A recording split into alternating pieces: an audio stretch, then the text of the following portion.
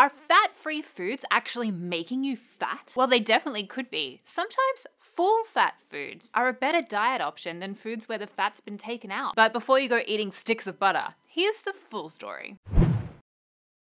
First of all, let's be clear. It's not like the fat that you eat in a meal or in your fries goes directly to your gut. That fat gets converted into calories, basically giving you a number of calorie points that you can burn throughout the day. Most of which is burnt doing stuff like breathing and thinking and walking and climbing stairs and running for trains. It's only the excess calories that aren't burnt that turn into fat. Basically, the argument is that fat, because it's so high in energy points or calories, is evil and will make you gain weight. To be healthy, all we need to do is have a limit on how many calories we eat each day. But here's the thing yes, fats are particularly dense in calories, meaning you have to expend more energy to burn them off before they turn into body fat. But they're also really difficult for your body to break down. Your body has to turn that fat into a sugar before it can use it as energy. And because they stay in the stomach for a really long time, they make us feel fuller for a much longer time than, say, sugar. But if you take the fat out of a product, we can break that product down faster. So, for example, you can eat a full fat yogurt that has 200 calories or a low fat yogurt that only has 150 calories. You'd think that the low fat yogurt would be better,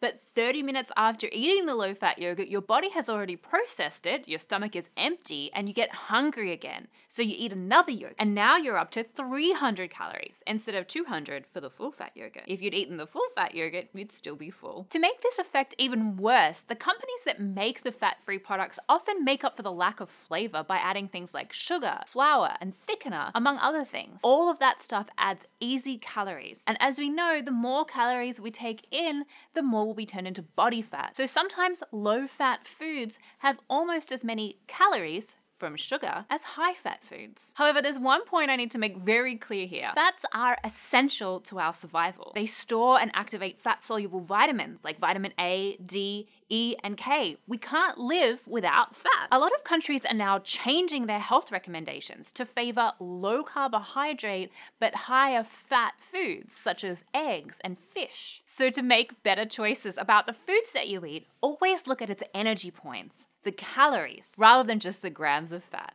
Hi everyone, I'm Jade Lovell, resident science nerd on the Young Turks Network. You're watching SciQ and we know you don't want to miss an episode, so please click the subscribe button down below.